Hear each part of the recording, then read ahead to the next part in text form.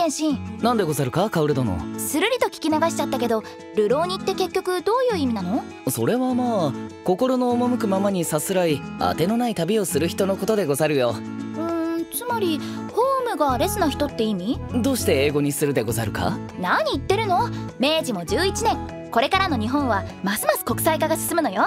すぐに観光客も増えてこの東京だって東京とか呼ばれるようになるの今から英語に慣れておかないと。そういうものでござるか。しかしそれならそのまま「ロローニー」でいいのでは？ダメよダメ。日本人は「青」と「エウ」の発音が苦手なんだもの。きっと誤解されるわ。はあ。ならどうすれば？正しく英語に訳しましょう。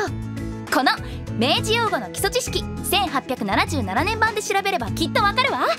さすらう旅当てのない。まあ拙者はどう呼ばれても構いはしないがああちなみに次回は第2話東京不死族明神弥彦をお送りするでござるよ。わかったわ謙信ほうなんでござるか？バガボンドですって。あら